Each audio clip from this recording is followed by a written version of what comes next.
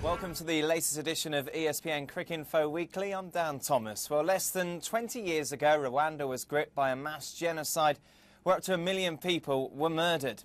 The country has made great strides since those dark days, and sporting activity is on the increase.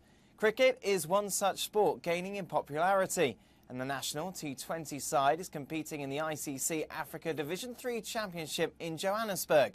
As Dan Williams reports, Rwanda are on their way to gaining promotion back to Division 2.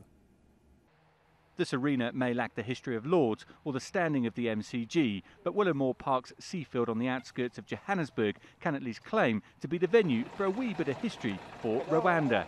This is an ICC Africa Division 3 T20 group match. Eight teams battle it out for two promotion spots. Standing in Rwanda's way on this occasion was Cameroon, who won the toss and put Rwanda into bat. Rwanda went into the match having won one and lost the other, so they needed victory here to keep their promotion hopes alive. Their batsmen quickly found their stride, with openers Andre Kaiatia and Dong Magisha scoring freely. The score was on 53 when Magisha fell in the sixth over. But that brought 17 year old Bob Songa to the crease and he accelerated the score along with Kaiatia, although they were helped by some comical Cameroon fielding. In the end, Rwanda managed 190 from their 20 overs, surpassing their previous highest score of 125. Kaiatia top scored with 66 off 49 balls. In reply, Cameroon made a slow start. Wickets fell at regular intervals as Rwanda piled on the pressure.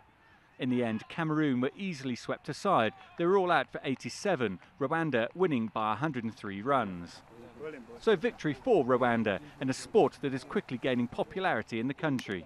There in Rwanda, the popular game is soccer, but now we start pushing and dev- putting people in schools so that we are now improving our ki- cricket.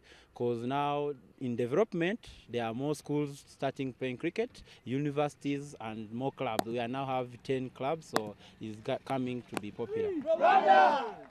Colin Siller is the coach of the team, a Scotsman. He joined up the side in February. Uh, there's no reason why in 10 years' time they could be in the World Cricket League, maybe in Division 7 or 8, um, and looking maybe to become, um, certainly have seasonal contracts. In the meantime, Rwanda can at least take heart from performances like this one. In Johannesburg, Dan Williams, ESPN. Well, that's all from this edition of ESPN Cricinfo Weekly. For more from around the world of cricket, stay tuned on your favourite device. Goodbye for now.